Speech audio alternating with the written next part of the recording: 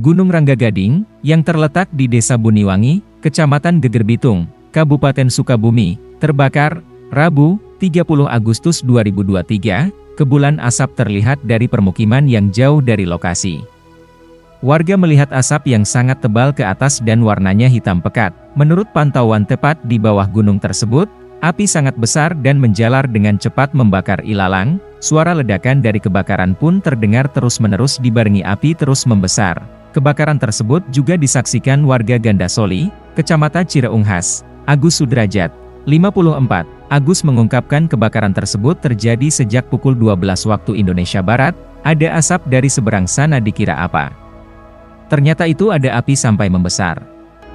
Ujarnya, kepada tribunjabar.id, Agus secara detail tidak mengetahui asap berasal dari mana, namun hari sebelumnya, ia melihat kepulan asap dari bagian gunung yang berada di sebelahnya, kepulan asap itu sebenarnya terlihat dari kemarin itu ada di sebelahnya.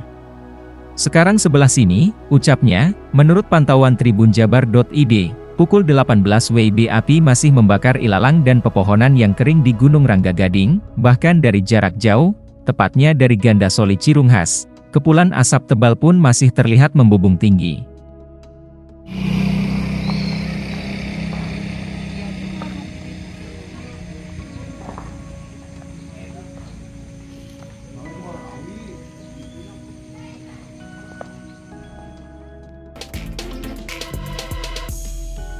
Lupa like, subscribe, dan share ya.